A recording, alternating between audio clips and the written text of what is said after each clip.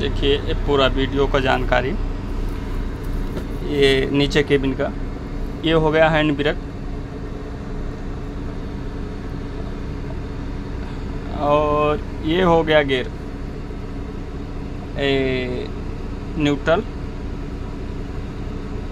आगे का ऑटो में, मैनुअल में और डी। Reverse reverse manual. ये एसी का हो गया। ये हो गया म्यूज़िक सिस्टम।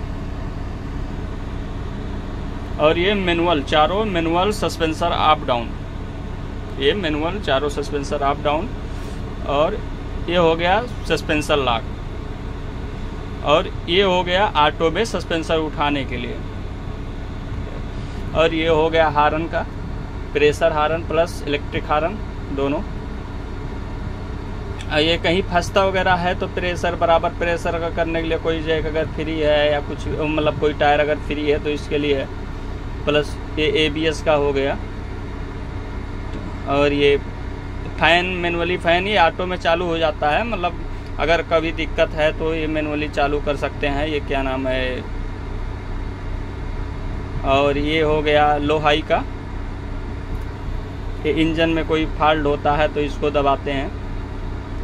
और ये आरपीएम कम ज़्यादा करने के लिए है। प्लस ये पूरा स्टेयरिंग कटिंग का है।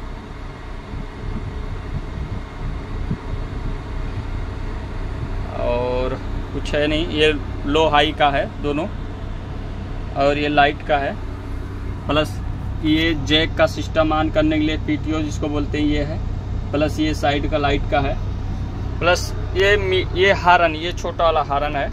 और ये हो गया मोबाइल घुमा देते हैं।